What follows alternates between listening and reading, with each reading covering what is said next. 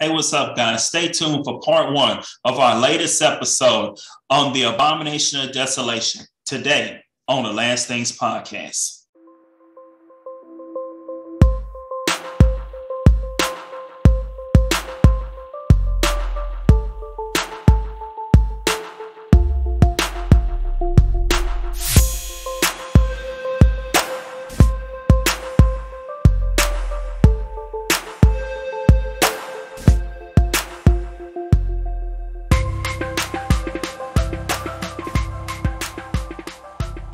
What's up, guys? It's your boy Damien coming to you again with another banger of an episode of the Last Things podcast, where we are on a journey to truth. It is indeed an honor and a privilege to come before you this, uh, I guess you could say, morning as we discuss the Word of God. Uh, last week we we are still covering the Antichrist. Last week we talked about uh, the restrainer as to why the Antichrist is not taking over. You know, I made that statement and, uh, that I believe that the Antichrist is alive right now on earth today.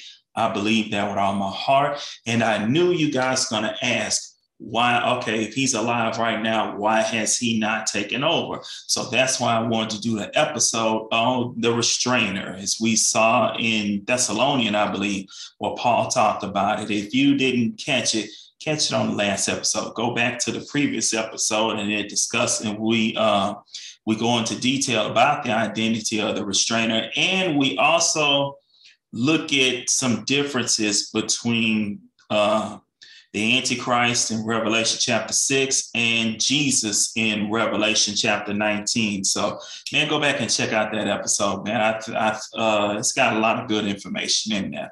So, uh, today, we're going to cover the abomination of desolation because I've been tap dancing around it because I wanted to wait till we got to Daniel to talk about it. But since we're discussing the Antichrist, this is a very uh, key event that is surround that let's just say this is very important in his career, in his seven year career, which is what I call it. This is a very, this is a defining moment. Let's say that. That's a better phrase. This is a defining moment in his career. So I felt like, you know what?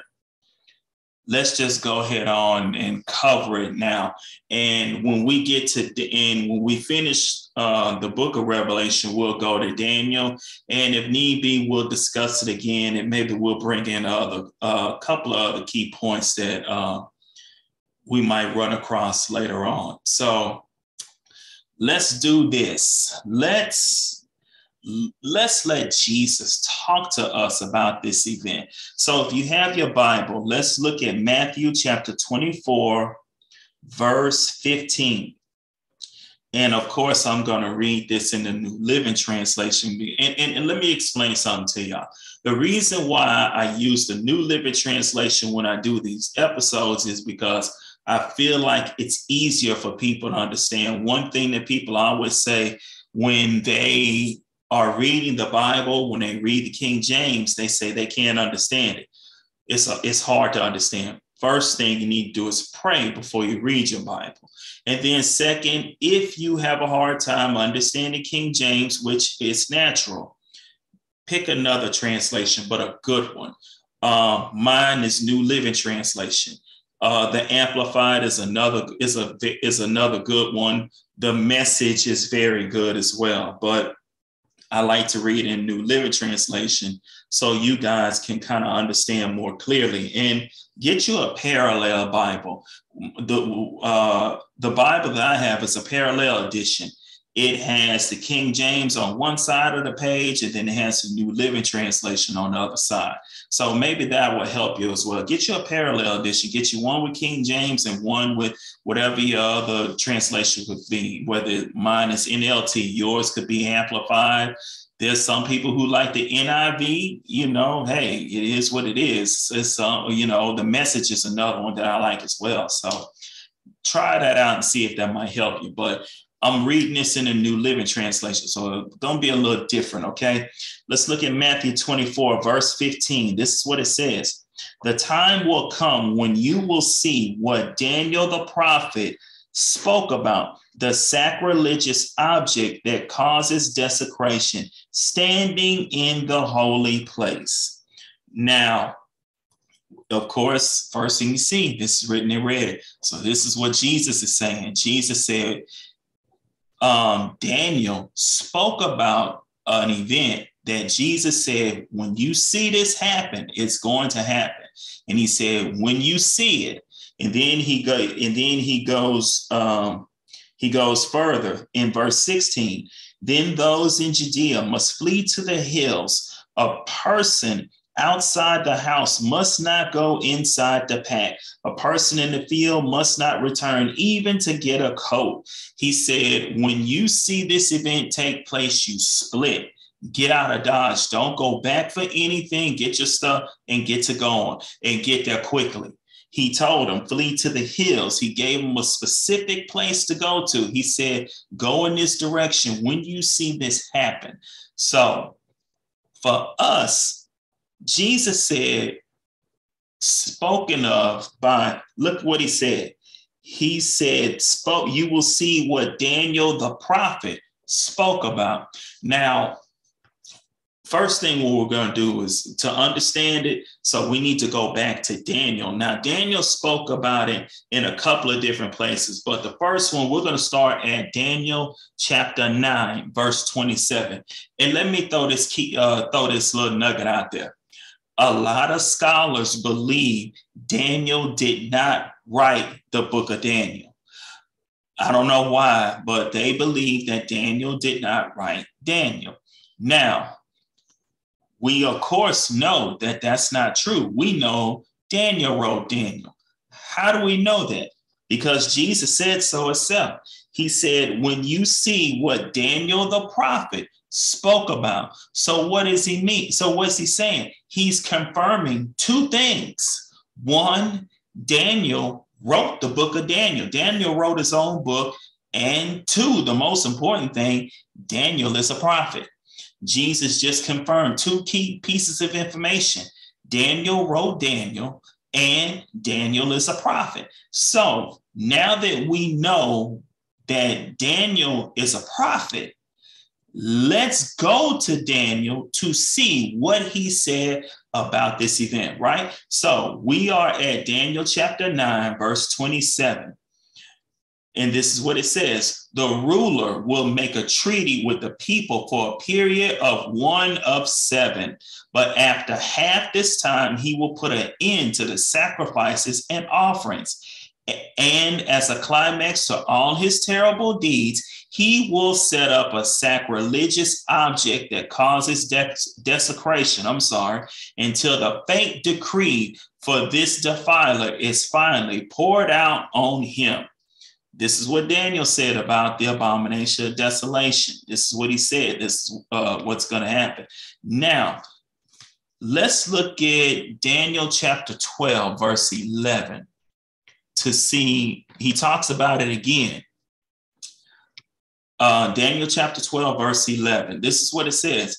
From the time the daily sacrifices stop and the sacrilegious object that causes desecration is set up to be worshiped, there will be 1,290 days. And blessed are those who wait and remain until the end of the 1,335 days. Now, here, this is New Living Translation. Here, when it says 1,290 days, I need y'all to understand the American calendar is very different from the Hebrew calendar, right? This is going by the Hebrew calendar. So this is three and a half years. The 1,290 days is three and a half years. Now, look what Daniel said. He said, Blessed are those who wait and remain until the end of the 1,335 days. Now, I, if if my math is right, that might be another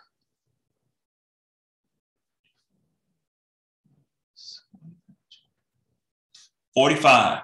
That's forty-five days after the three and a half years. What happens in that 45 days, I'm not going to lie to y'all. I honestly don't know. But he said, Blessed are those who hold out. He said, 45 days after the three and a half years is up, blessed are those that hold out. So we don't know what, maybe that's when Jesus actually returns. Uh, we don't know. But he said, "You, they'll be blessed if they hold out till that day." So that's very important. Now, that's where we see it in Daniel. Now, Mark talks about it as well. It's in Mark chapter 13, verse 14. This is what it says. The time will come when you will see the sacrilegious object that causes desecration standing where it should not be. Then look at what he says. Then those in Judea must flee to the hills. A person outside the house must not go back in the house to pack. A person in the field must not return to even get a coat. He ain't like he said in Matthew. He said, when you see this happen, y'all run. Don't go back for nothing. Don't turn back for nothing. Get your stuff and get to stepping, like Martin said. Get to stepping. That's what he told him. He said, get going and get going fast. Okay. So Let's do this. I um, defined abomination. This is the definition that I found a thing that causes disgust or hatred. Desolation is uh, defined as devastation or ruin. That's what I found uh, definition. So when you hear abomination of desolation, it's two words like antichrist, two words put together as one. That's what this is two words put together as uh, as a phrase to describe this event that Daniel spoke of. Now, why is it called the abomination of desolation? It's called that because there have been there was another abomination of desolation. It took place. Um, excuse me. I, I think if I'm reading this right, this happened 200 years before Jesus spoke about it in Matthew 24. Now, the now what happened is Antiochus the Fourth. Uh, he took the title Theo, Theos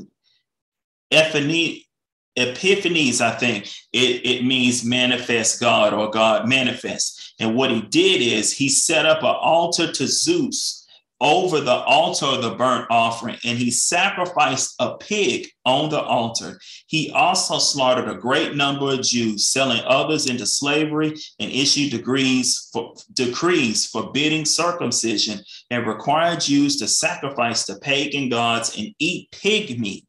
This would this is the first abomination of desolation. So when Daniel speaks of it, he's talking about an event similar a future event is what Daniel's talking about, but he's using this event that happened to describe the next one that's going to take place. He said that this is what this is what he talked about. This is the first one. This is the very first one that he was speaking of. Now, when it comes to the abomination of desolation, it it basically, as we know, it's the Antichrist will make a covenant with Israel, a seven year covenant with Israel. Now, in the middle of that covenant, according to Daniel, in the middle of that covenant, three and a half years into it, what will happen is he will go into the temple and he will go into the holiest of place in the temple, which is the holy of holies. It's a, it's a little room that's inside that you I, if memory serves me correctly i think you can only go in there one time out of the year and you had to and only a priest could go in there. There was no one else who could go. He was the only one who could go. So what he does is he goes in and he sets up a, a object of desecration some kind of some kind of object uh, for himself for everybody to worship and he says that he is God. He will proclaim himself to be God. It's at this moment, this is where the Bible says you will know who the Antichrist is when this event takes place. He is the Antichrist. So this is how we'll know the identity. That's why I say this event is very important because you will know his identity. You will not have to guess who he is, who he might be. You won't have to do that anymore. He when this event takes place, you'll know his identity because that's what he's going to do.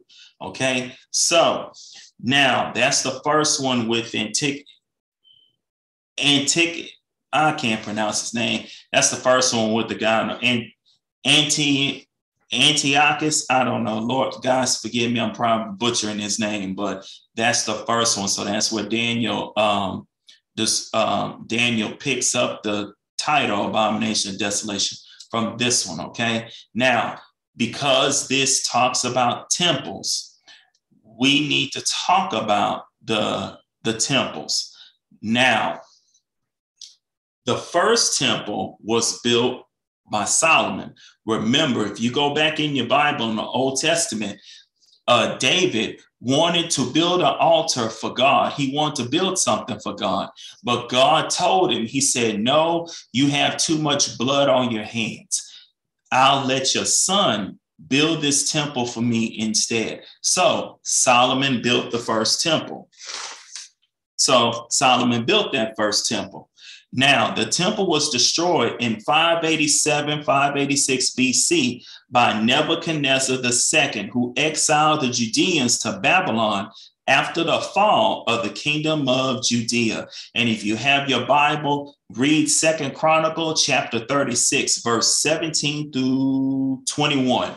This speaks about the uh, the first temple that was destroyed, Solomon's temple being destroyed. This is where it is in scripture.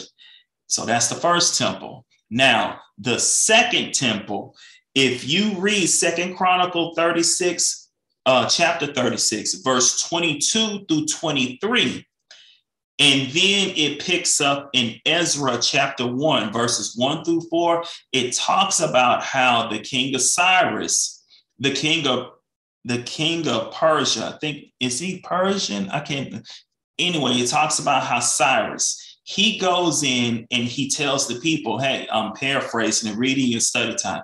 He tells the people, hey, God has appointed me to let you guys go. And he appointed me to rebuild the temple. And anyone who wants to help in there, you guys are free to go. So that's what happened. After the exile, Cyrus releases the remaining remnant of the people and sends them back to where they will begin to rebuild the temple. Now, however, However, Cyrus dies before the temple is rebuilt. So years later, they this temple it, they went through four three different kingdoms, I believe. They went through three different kingdoms until they got to Herod. Herod decided to get make get this temple rebuilt, and that's what he did. And when he rebuilt the temple, he did a couple of additions to the temple. To so for whatever reason, I can't remember. It was something to do with the, I can't remember what it was, but he did some additions to the temple for himself. He kind of added a little more to it. So that's the second temple. That's the second temple. Now, the second temple was destroyed in 70 AD, which is what everyone calls the fall of Jerusalem. That's when the second temple was destroyed in 70 AD, right? Okay. Now that we've talked about the first temple and we've talked about the second temple, why am I talking about these temples? Because the in, because in the end times, the third temple, there's going to be a third temple that's supposed to be built.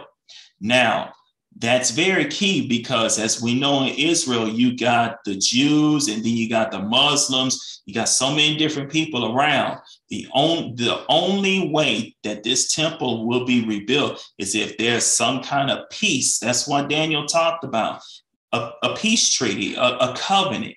And then the temple will be rebuilt. Once the, not rebuilt, but built again, but built. This, this is the third temple once that third temple is built, of course, they're going to have sacrifices and everything, just as the others did. Now, once this third temple is built, three and a half years into it, The Antichrist will go into the holiest part, the Holy of Holies. He'll set up an altar and he'll proclaim himself to be God.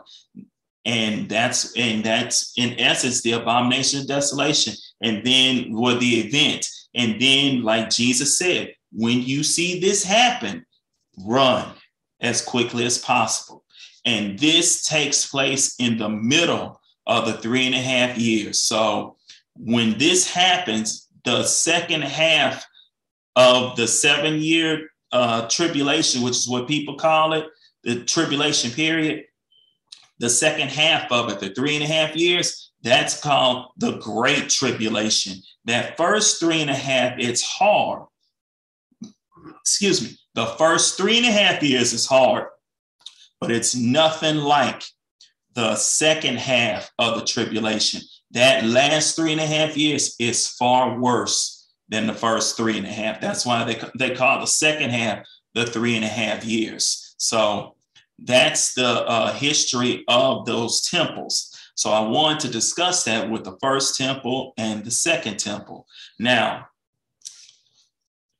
I need to show you something. I'm gonna mess with some of y'all's theology in a few minutes, okay? I need to show y'all something about the abomination. Let, let me let me put this out there. There are there's a there's a uh, people there's there's a study um, that says the fall of Jerusalem in 70 AD is the abomination of desolation that Daniel spoke about in Daniel chapter that we saw in Daniel. They say that they, a lot of people believe that that's the abomination of desolation. So they feel like that has already taken place. Now, there's another group of people who say that's not the that has not happened yet. The abomination of desolation is a future event that has that has to take place. This is not current. This is something future. This this has not happened yet. This is future down the road. So I'm going to present something to you and it's your opinion as to what which category you fall under. Do you believe um, do you believe this is a future event? Or do you believe this is an event that has already taken place with the fall of Jerusalem in 70 AD? Okay, so you're going to have to decide which one. All right. Now, in order to do this, I want to look at Matthew 24. Now, I got my Bible, I, I, I got my Bible in front of me and I have my computer in front of me as well. So in order to see this, you're we're gonna you're gonna have to do kind of what I'm doing right now. You're going to need two Bibles in front of you. You're going to need two Bibles in front of you. So I'm trying to set this up right now. And is it ready? Is it ready? Okay, perfect. Now I have my Bible open in Matthew 24. My laptop is right here open to Luke 21. Now, I want to show you something. Now, a lot of the older um, people, a lot of older, a lot of people who are more well versed in scripture than me probably already seen this. And there's some who probably have never seen this. So I'm going to do my best to kind of show you at some point we're going to do an episode on Matthew 24, Luke 21, and Mark 13. But I'm not going to go too in depth with all of it because I want to show you in scripture what I'm talking about. Okay. Okay. So let's see if I can break this down. So I need you to look at Matthew 24, which is, uh, which is in front in Luke 21. I'm going to show you something of how people assume that people say that the abomination of desolation took place in 70 AD. Okay. And I think this is where they get it from. I think this is where they're getting it from because they're trying to take Luke 21 and Matthew 24 and kind of put them together saying they're both saying the same thing, right? But I'm getting ready to show you Matthew 24 and Luke 21, do not talk, they have some similarities, but they got a bunch of differences as well. The whole, the meat of the conversations in both chapters are not the same. They're talking about two different things. Okay. So um, I want to show you. Let's first look at, let me get my little notes in front of me. All right. Now, I want you to look at Matthew 24, verse 1. Uh, look at this, verse 1 and 2. As Jesus was leaving the temple grounds, his disciples pointed out to him the various temple buildings. But he told them, Do you see all these buildings? I assure you, there will be so, they will be, will be, I'm sorry, so completely demolished that not one stone will be left on top of another. Okay. That's what Jesus said in Matthew. This is Matthew 24, verse 1 and 2. Now, Luke, we need to scroll down. Now I got Luke 21, verse 1. While Jesus was in the temple, he watched the rich people dropping their gifts in the collection box. Then a poor widow came by and dropped in two small coins. Verse 3 I tell you the truth, Jesus said, this poor widow has given more than all the rest of them, for they have given a tiny part of their surplus. But she, poor as she is, has given everything she has. Verse 5 Here we go some of the disciples began talking about the majestic stonework of the temple and the memorial decorations on the walls. But Jesus said, The time is coming for when all these things will be completely demolished. Not one stone will be left on top of another. I want you guys to notice something about this. If we look at Matthew 24, verse 1, what does it say? As Jesus was leaving the temple grounds. Verse 3 says this later, Jesus sat on the slopes of the Mount of Olives. His disciples came to, well, let, me stop right there. So we see Jesus is leaving the temple in Matthew 24. And later on the slopes of the Mount of Olives. So he was at the temple, he was leaving the temple. Now he's at the out, he's at the Mount of Olives, right?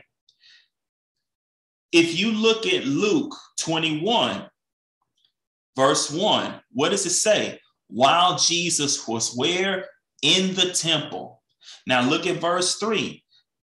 Verse 3 says some of his disciples began talking about the majestic stonework of the temple and the memorial decorations on the walls. But Jesus said, The time is coming when all these things will be completely demolished. Not one stone will be left on top of another, right?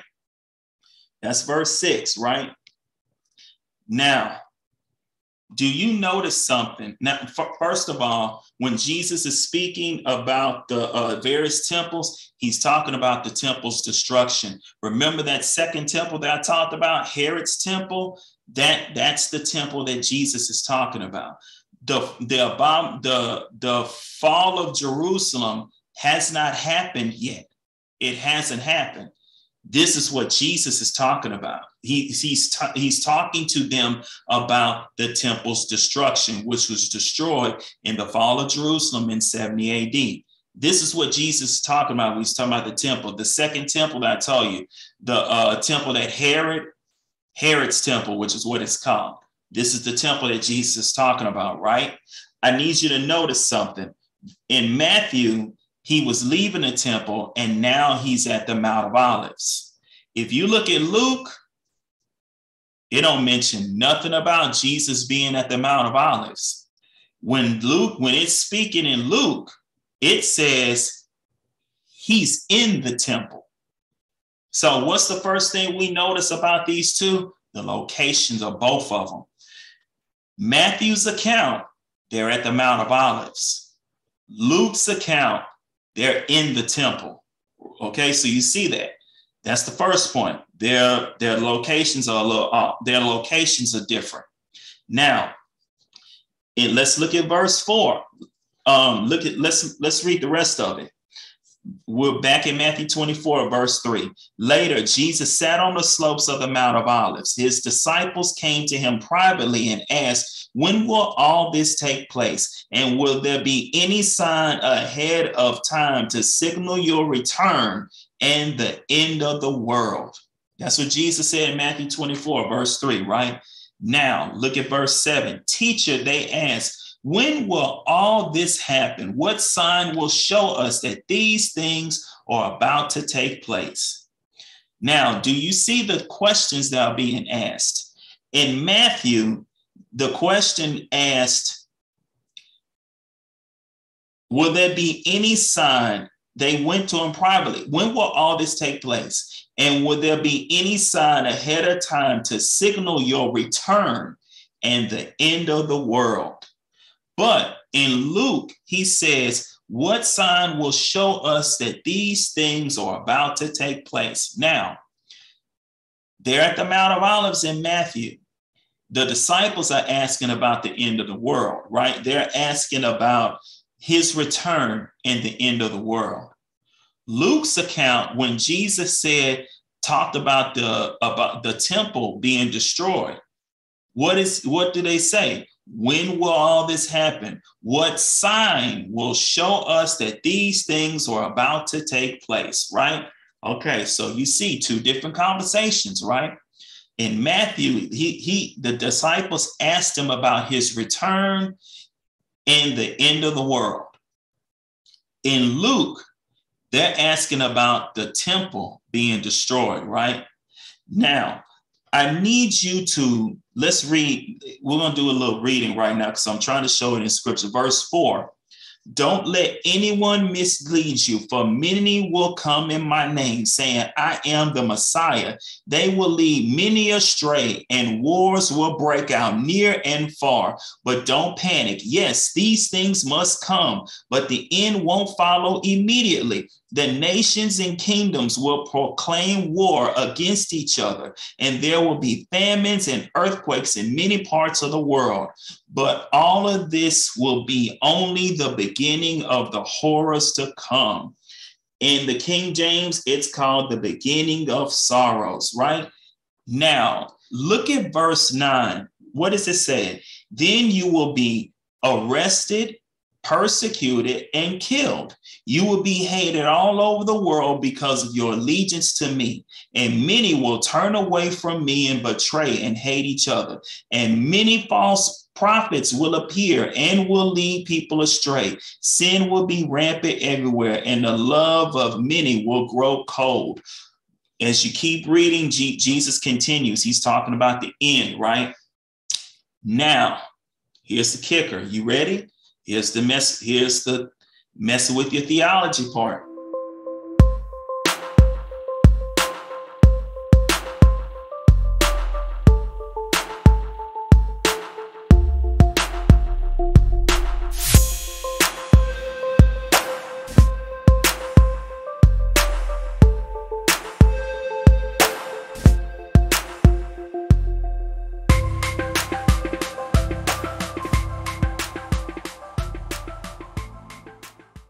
What's up, guys? Stay tuned for part two on our latest episode, The Abomination of Desolation, next week on the Last Things Podcast.